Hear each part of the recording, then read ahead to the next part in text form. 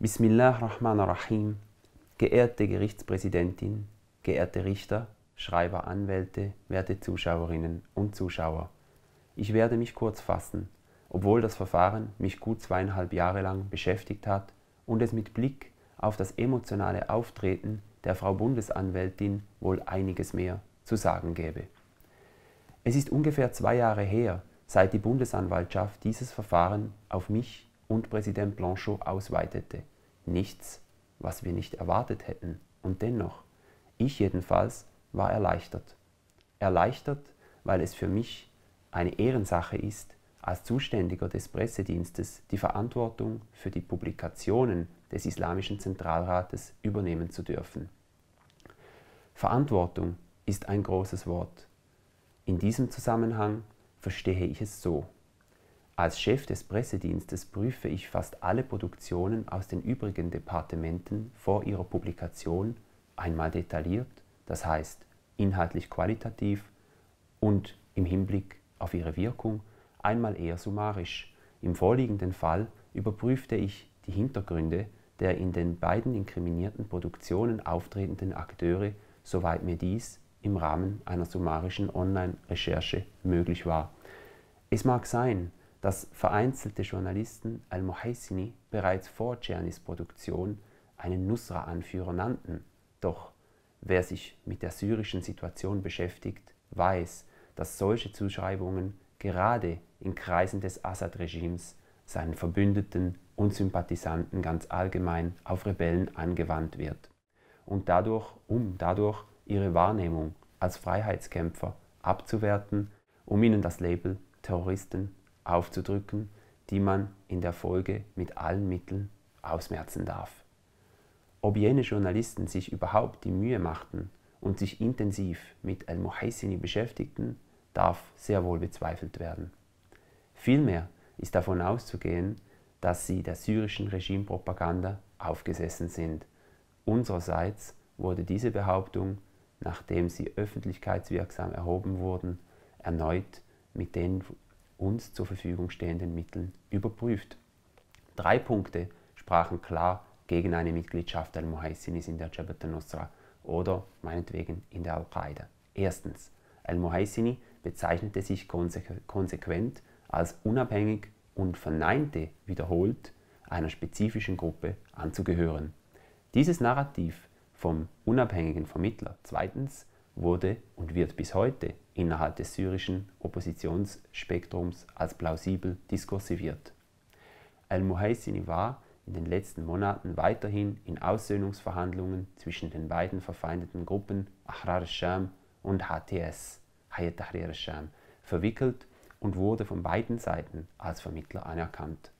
Drittens, im ganzen relevanten Zeitraum war weder al-Muhaisini noch die Jaish al-Fath auf einer international anerkannten und öffentlich zugänglichen Terrorliste verzeichnet. Insbesondere nicht auf der für die Schweiz maßgeblichen UNO-Sanktionsliste, die ja vom SECO, dem Staatssekretariat für Wirtschaft, nachgeführt wird. Ein nicht ganz unerheblicher Umstand, den die Bundesanwältin in ihrem Plädoyer geschickt ausblendete.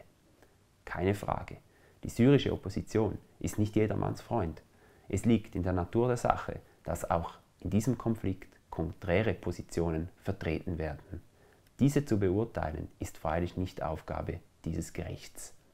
Allerdings dürfte es dem Gericht nicht entgangen sein, wie einseitig seitens der Anklage der Versuch unternommen wurde, das Rebellenspektrum und dazu zählt letztlich auch Al-Muhaisini als moralisch im Verzug zu skizzieren, während auf die Brutalität und Menschenverachtung des syrischen Regimes mit keinem Wort eingegangen wurde. Damit aber fehlt der Kontext, vor dessen Hintergrund eine faire Bewertung der Person El-Muhaisini erst möglich wird. Es ist mir ein Anliegen, dass hier kein Zweifel aufkommt, dass das Assad-Regime eines der grausamsten dieser Welt ist. Darauf wurde im Bericht des IZRS ab Seite 25 fortfolgende entsprechend eingegangen. Und zwar qualitativ wie auch quantitativ. In einer Vorladung der Bundesanwaltschaft zur Einvernahme als Beschuldigter las ich vor gut zwei Jahren, dass ich eines Zitat Verbrechens beschuldigt werde. Sie werden vor dem eben erläuterten Hintergrund verstehen, dass ich Mühe hatte, dies einordnen zu können. Unvermittelt schossen mir dabei Assoziationen mit vergleichbaren Fällen aus autoritären Staaten wie etwa Russland durch den Kopf. Ich soll ein Verbrecher sein, weil ich von meinem verfassungsmäßig garantierten Recht auf Presse- und Informationsfreiheit Gebrauch machte? Kann das wirklich wahr sein, hier und heute in der Schweiz? Ich bin kein Jurist. Wenn ich das Verfahren aber richtig verstehe, geht es ja um die schlichte Frage, ob ich mit meinem Nihil Obstat zu den zwei Produktionen Propaganda für die Al-Qaida betrieben haben soll und nicht darum, ob ich als öffentliches Gesicht des Islams in der Schweiz die eine oder andere Position vertrete, die als kontrovers bis provokativ taxiert wird. Es kann ja im Prinzip auch nicht darum gehen, wie ich glaube bzw. meinen Glauben praktiziere. Umso mehr verwundert es mich, weshalb sich die Frau Bundesanwältin derart für meine private Bücherwand interessiert, hier ein wissenschaftliches Werk über die Texte der Al-Qaida unterstreicht, jedoch kein Wort über Michel Foucault, Jürgen Habermas oder Sigmund Freud verliert. So dann erlaube ich mir die Frage, liegt hier ein Missverständnis vor oder doch politisches Kalkül? Bitte erlauben Sie mir abschließend dies kurz zu erläutern. Al-Muhaisini, wie übrigens auch andere Protagonisten in den zwei inkriminierten Produktionen, ist zweifelsfrei ein muslimischer Zeitgenosse, der auf methodologischer Ebene einen holistischen Zugang zum Islam pflegt. Holistisch heißt, neben den Dogmen, dem Ritus und der Spiritualität eben auch gesellschaftliche und politische Aspekte in sein islamisches Weltbild integriert. Nach landläufiger Terminologie also ein Islamist. Weil er den Dschihad in Syrien gegen das Regime von Bashar al-Assad führt, und zwar aktiv führt, eventuell sogar ein Dschihadist. Ich kann mir gut vorstellen, dass er diese Behauptung bzw. Beschreibung nicht prinzipiell von sich weisen würde. Nicht jeder Islamist, der einen wie auch immer gearteten Dschihad führt, ist aber automatisch den Reihen der Al-Qaida oder des IS zuzuschreiben. Denken Sie nur an die diversen palästinensischen Gruppierungen, die schiitischen Milizen im Irak und Libanon, prominent und aktuell gerade der politisch aufsteigende Muqtada Sadr, die Hezbollah, die MILF auf den Philippinen oder die muslimischen Aufständischen in Südthailand, Burma oder unter den Uiguren. Sie alle sind Islamisten, bemühen den Dschihad. Das Gericht muss sich der von der Bundesanwaltschaft unterschlagenen Tatsache bewusst sein, dass Islamismus auch jenseits von Al-Qaida und IS existiert. Gestern überraschte uns die Frau Bundesanwältin mit ihrer Aussage, dass es im Prinzip keine Rolle spiele, ob Al-Muhaisini offizielles Mitglied der Al-Nusra oder Al-Qaida sei.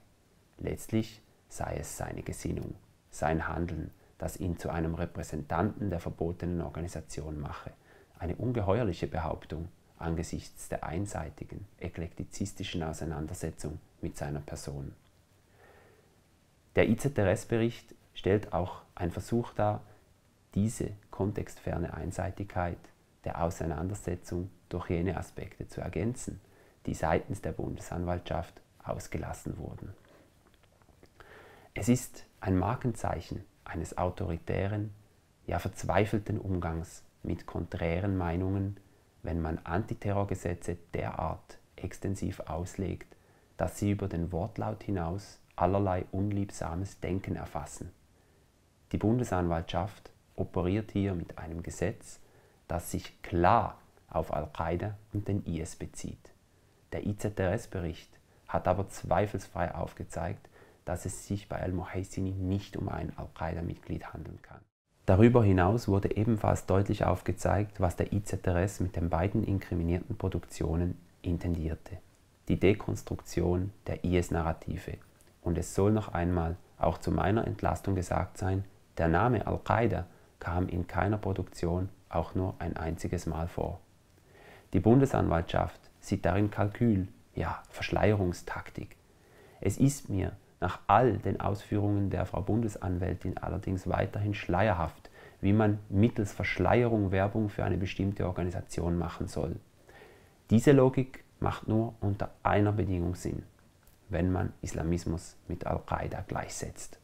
Demnach wäre, wie von der Frau Bundesanwältin suggeriert, Al-Muhaisini nicht aufgrund einer formellen Mitgliedschaft ein Al-Qaida-Repräsentant, sondern lediglich seiner Gesinnung wegen. Hier wird es aber heikel. Ich schließe mit der Frage, nach welchen Maßstäben, wenn nicht nach dem Wortlaut des Gesetzes und entsprechend relevanten Terrorlisten, kann ich oder jeder andere Betroffene im Bereich der Publizistik lege Artis hin oder her seine Arbeit, seiner Arbeit nachgehen. Müssen wir in Zukunft jede Publikation, worin islamische Protagonisten auftreten, einer monatelangen wissenschaftlichen Begutachtung unterziehen lassen? Nein, geehrte Damen und Herren, das kann es nicht sein. Es ist Aufgabe des Staates, seine Regeln klar und nachvollziehbar auszuformulieren. Gemäß Gesetz steht das Werben für Al-Qaida oder den IS zweifelsfrei unter Strafe. Das kann ich verstehen. Es kann aber nicht angehen, dass jede unliebsame Spielart des Islams nun mit Al-Qaida oder dem IS parallelisiert wird, sodass am Ende eine vermeintlich strafbare Handlung resultiert. Soll dies dennoch so sein, so ist es Aufgabe der Politik, den Wortlaut des Gesetzes entsprechend restriktiver zu gestalten, anstatt hier im juristischen Experimentierkasten an unseren verfassungsmäßigen Grundrechten zu feilen. Vielen Dank.